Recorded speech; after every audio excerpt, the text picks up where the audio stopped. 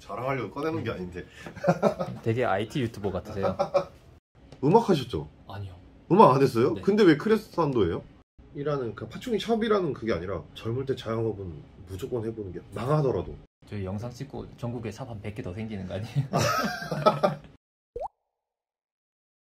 여러 가지 고민을 진짜 많이 했어요. 어떻게 하면 효율적으로 기본을 지키면서 얘들을 퍼펙트하게 키울 수 있을까에 대해서 열심히 했기 때문에 별거 아닌데 루바마 음. 얘들이 키워보니까 특징이 어딘가 껴있는 걸 진짜 좋아하더라고요. 그래서 이 루바마만 났을 때는 어. 물론 백업처럼 이용을 할 수 있겠지만은 위칸이랑 아래칸이랑 길이가 달라요. 그래서 이거를 개체가 없을 때 이렇게 내려놔도 이 공간이 생깁니다. 음. 이, 이 진짜 엄청 이렇게 날뛰는 도 미친 자인데 음. 여기 들어가면 되게 안정을 되게 잘 치요. 아, 이런 부분을 고민을 좀 많이 했던 것 같아요. 저게 나오기 전까지 정말 여러 가지가 많이 음. 바뀌었어요. 저것도 넣어보고 이것도 넣어보고 막 다 해봤거든요. 근데 물론 백업이 좋아요. 예, 백업 껴진 애들도 있어요. 근데 이건 개체들의 성격 차이. 예, 애들마다 다 달라가지고 또 저걸 싫어하는 애들은 또 백업 넣어주고. 아까 파충류 샵을 어떻게 차리는지에 대해서도 얘기도 했었지만은 진짜 사육방에서 키우는 거랑 여기서 키우는 거랑 차이가 많이 나니까 아, 저도 거기에 대해서 고민을 되게 많이 했는 것 같아요. 음. 네, 대표님도 여기 이렇게 얘기하시는 거 보니까 그런 거에 대한 고민이 많이 하신 게 느껴지더라고요. 일단 이 생물을 키운다는 것 자체가 기본적으로 청결이잖아요. 그쵸? 물론 다 청결한 상태로 키우긴 할 건데 어 샵이 워낙 엄격해요 왜냐면 손님들이 저를 평가를 하거든요 그쵸. 그 평가를 받기 위해서 내가 떳떳하려면 깨끗하게 키우는 게 당연한 거예요 물론 제 성격상 냄새 나는 거 싫어하는 건 그렇지만 사육방에서나 내가 그냥 집에서 키운다면은 오늘 내가 피곤하면 내일로 미룰 수 있어요 하지만 샵은 내일로 미루면 안 돼요 항상 깨끗하게 관리를 해줘야 되죠 기본 지키는 게 당연한 거잖아요 그쵸. 근데 아까 전에도 얘기했지만 기본을 지키는 게 정말 어렵더라고요. 그러면 그 사람은 사업할 사람이 아니라고 봐요. 음. 그냥 대놓고 얘기하면 사업을 하려면 기본을 지켜야 되고 전문성이라든지 아니면은 뭐 마케팅이 됐든 그 다음에 이제 넘어갈 문제지 음. 기본조차 안 지킨다? 그 사람 뭘 해도 다 그렇게 하지 않을까요? 그 말은 즉슨 사실 손님을 우습게 본다는 얘기잖아요. 그쵸. 기본 안 지킨다. 그렇다고 봅니다. 샵을 차리고 싶어하는 사람들이 진짜 많이 찾아오세요. 많이 자문도 구하고. 예전에 좀 무료로 솔루션 많이 해드리긴 했는데 보통 제일 많이 물어보시는 게 비용 얼마 드세요? 많이 물어보거든요. 제가 이제 꿀팁을 알려드리죠. 꿀팁 아닌 꿀팁.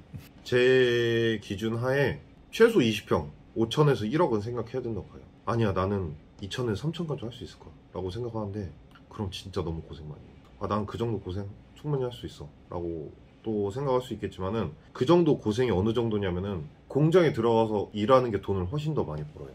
저자본으로 창업하는 거는 너무 비효율적이에요. 음. 제가 만약 20대로 돌아가서 창업을 한다고 가- 가정을 한다면은 일단은 회사를 다닐 것 같아요. 회사를 다니고 최소 2년에서 5년 정도 다닌 다음에 그 사회생활로 터득되는 그 내공이 생기거든요.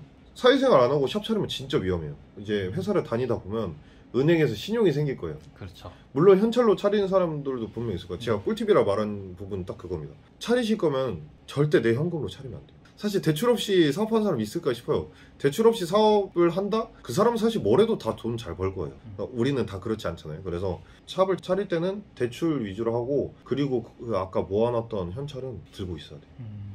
내가 정말 중요한 순간에 쓸 때가 분명 많이 나오거든요. 그렇죠.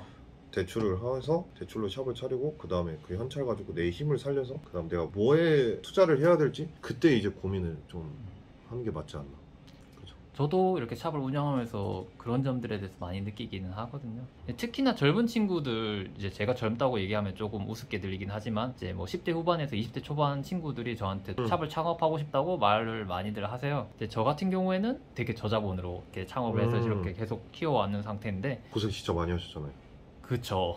그런 말 있잖아 꺾이지 않는 마음 어, 딱 아, 그거죠 예. 진짜, 네. 저자본으로 창업해보신 분들 아시겠지만 이럴 거면 차라리 그냥 공장 들어가서 일하는 게 낫지 않을까 라는 생각 되게 많이 할 거야 근데도 어, 내 가치를 쌓고 증명하기 위해서는 회사가 아니라 창업이라고 생각해요 그래서 저는 창업을 꼭 추천을 되게 많이 해요 창업 음. 추천을 되게 많이 하는 그 전제 조건 아까 말씀드린 그쵸. 게. 당연히 창업이 돈을 많이 벌긴 하죠 잘 하면 그쵸. 잘 한다는 가정하에 근데 어떤 차이가 있냐면은 책임의 차이인 것 같아요 회사에서 내가 잘못하면은 회사에서 책임져 주거든요 그 책임의 영역이 너무 강해지면 잘리긴 하겠지만은 음. 어쨌든 그 잘리는 순간에 퇴직금을 주면서 책임을 져준단 말이에요 회사에서 네. 근데 창업은 책임져 줄 사람이 없어요 원래 저 음악 전공했었고 아 맞아 어. 그거 여쭤보려 했는데 음악 하셨죠? 아니요. 음악 안 했어요? 네. 근데 왜 크레센도예요? 크레센도가 그거잖아요. 그렇죠. 점점 더. 네, 점점 더 커지게. 크레센도라는 뜻이 굉장히 좋은데 크레센도라는 업체명을 쓰기에는 노출이 너무 어렵다 생각을 해서 이제 살짝 튼 거죠. 음악 관련된 일인 줄. 저는 마케팅을 전공을 하고 있으니까 어쩐지 되게 잘하시더라. 아, 내가 보면서 얼마나 많이 배웠는데, 진짜. 화- 화상을 보면서. 진짜 샵 운영하는 사람들 중에 여자친구 있다? 장사 잘 된다는 얘기. 음, 여자친구를 만들 수가 없어, 사실. 맞아요. 진짜로. 장사 잘 되는 샵 기준. 샵하고 결혼하신 분들, 아니면 여자친구 생기신 분들. 되게 능력 있으신 분들이. 아, 그죠, 그죠, 그죠. 음.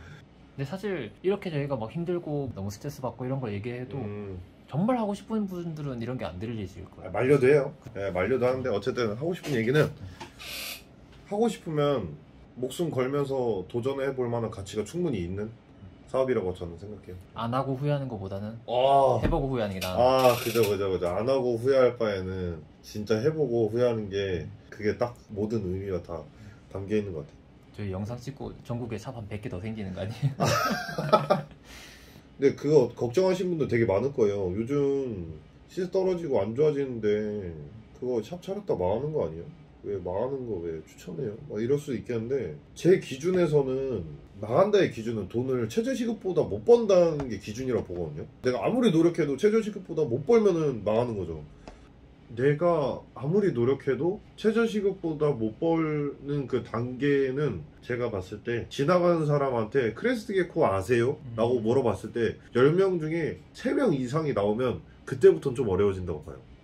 완전 포화 상태로 가서. 네, 네, 네, 네. 아, 제가 그 얘기도 좀 많이 해요. 세대 차이 얘기도 되게 많이 하거든요. 음, 우리 할아버지 세대 때는 햄스터 키운다 그러면 쥐새끼 왜 키우냐고. 음, 그렇죠. 근데 우리 부모님 세대는 햄스터를 또 허락해주는 부모님 되게 많았어. 근데 우리 세대 때는 이제 미디어 매체로 통한 노출도가 파충류가 꽤나 높아졌기 때문에 아. 키울 사람은 아직도 많이 있다는 거죠. 음, 저도 비슷하게 생각하는. 네.